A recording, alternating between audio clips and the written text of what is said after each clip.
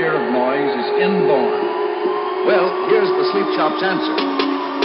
Suppose we just look into things a little further and see what architects and engineers are doing to help us get rid of tension.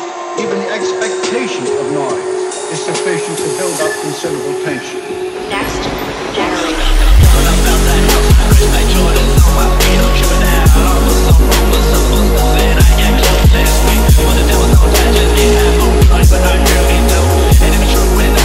Celebration, everything